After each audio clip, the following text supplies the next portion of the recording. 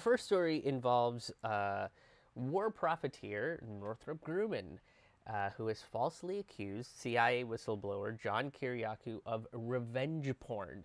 Um, and the chaos that has ensued in uh, in John Kiriakou's life. Uh, John Kiriakou, for, for those of you that might not be in the know about who he is, uh, I would highly recommend you get to know who John is. Um, John is a CIA whistleblower.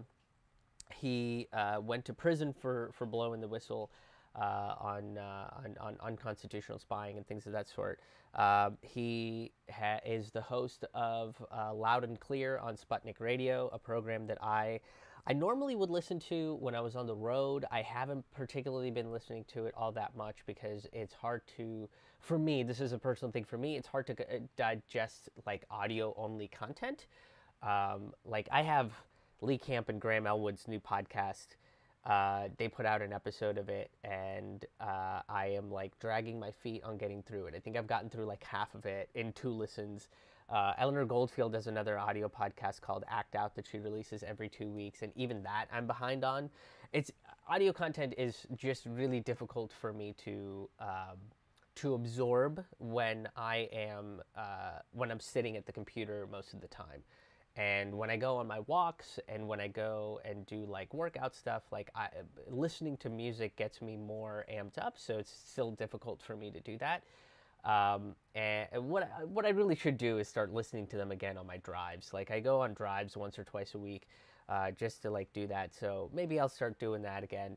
Uh, but it's just been really difficult. But I used to listen to Loud and Clear all the time, and um, uh, he also writes for Consortium News. And I've gone through some of the stuff that John has written for Consortium News. Uh, we talked about the crazy laws that are still in place uh, in the United States for whatever fucking reason, right? Uh, so uh, John's going, you know, through through a divorce, and that's an unfortunate thing for, a, for to go to. It's a difficult process depending on uh, what state you're in and the mental, physical states of both parties involved, and you know, it's not a fun process to go through.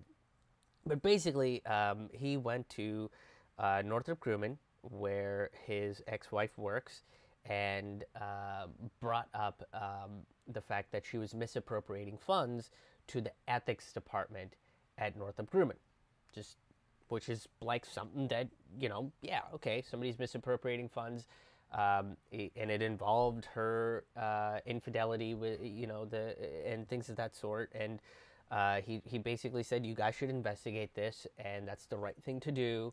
Um, and you know like he didn't do anything illegal in that front. He didn't do anything crazy or over the top in that front. He did the right thing. And so of course the ethics department went straight to his ex-wife told her about it and things got crazier from there where, where then um, Northrop Grumman essentially filed charges against him, um, and his ex-wife was involved as well, uh, claiming that you know he is trying to he's trying to use revenge porn as a as a as a means to um, to get his way, in, in so to speak, right?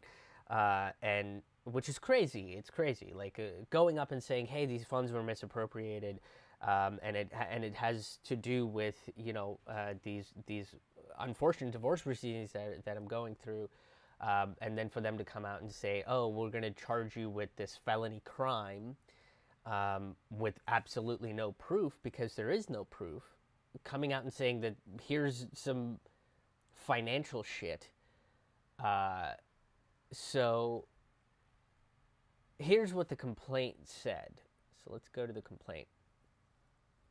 The complaint says right here, I'll highlight it. it says according to the complaint, Heather was allegedly involved in an affair with a Northrop executive. John contacted Northrop's ethics department in July of 2018 to inform them that he possessed documents showing Heather, a director of global business development in Northrop Grumman, an executive and, and an executive fraudulently billed the company for business travel. However, they were engaged in tens of thousands of dollars of personal travel that involved cheating on him. So that's what the complaint said, right? And it's basically like what he's talking about is it's like Excel spreadsheets. Like Excel spreadsheets are not porn. I'm sure that's like somebody's kink out there. Uh, maybe, maybe somebody's just like, boy, those spreadsheets really get me rock hard or whatever. Like that's that. I'm not here to kink shame anything, but like in in in most cases, something like that is not like pornographic material. Like possessed documents could literally be like receipts and credit card bills or so on and so forth like stuff like financial reports and things of that sort it's not revenge porn so northrop grumman uh, hired a detective and uh, and and they came in to basically search john's home illegally violating the fourth amendment because they had no rhyme or reason to actually go about fucking doing this and uh, they they searched his home without any real proof of revenge porn, going over the the notions of possessed documents, right? Like what like they use that vague term, and they basically said, oh, he's trying to leverage and blackmail this person, which is not true. He's essentially pointing out um, internal fraud within their company. You're like a multi-billion dollar company and there's internal fraud with two higher ups in your company two executives in your company. Um, and you know in terms of being a fucking company that would should be something that concerns you.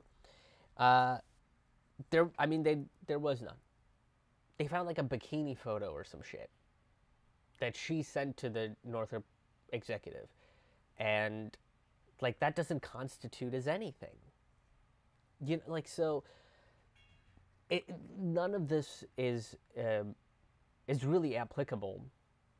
But here's the thing: Northrop Grumman has a history of attacking whistleblowers. They do that shit all the time. They falsely accuse people, and then they settle out of court. And they basically say that the whistleblower doesn't can't can't say or do anything. Right? That's just sort of like a thing that they do. Um, these false accusations uh, essentially took John's kids away from him, which is so fucked up. And they also took his Vespa, which is like, uh, can you can can we do can can you just keep the Vespa and give the guy his kids, like, like take the fucking Vespa. Who give it's a Vespa. It'll be fine. But can can you let the guy have his children? Like that's can that be can that be a thing? Like can you guys not be a total fucking dick about this? So now, um, you know, John is seeking damages for emotional duress. Um, and I hope I hope that he wins uh, because this is bullshit. And like this is essentially a war profiteering company uh, using their massive wealth to go after a a writer, a uh, commentator on foreign policy and the intelligence community with his radio show, with his independently funded radio show, by the way. It's not like on fucking NPR or CNN or any of those other fucking networks. It's an independent radio show. And they and they're and they're like excited about going after these people. This is this is who these war profiteers are. This is who funds are like whenever people come out and say that they're anti-war, this is who we're fucking against. We're against people like this. People like Northrop Grumman. Not veterans. Like we're pro veteran because we're like, hey, maybe fucking help out the people that went to war and fought rich people's wars. Maybe you should fucking help them out. This is who you should be against, by the way. There is no, to me, there is no possible way for anybody to justifiably make an argument uh, on behalf of Northrop Grumman. There just isn't. All of the evidence points to the fact that they fucked over John Kiriakou for no for no reason other than the fact that he is a CIA whistleblower. He uh, talks about foreign policy and the intelligence community quite often, and he writes about it.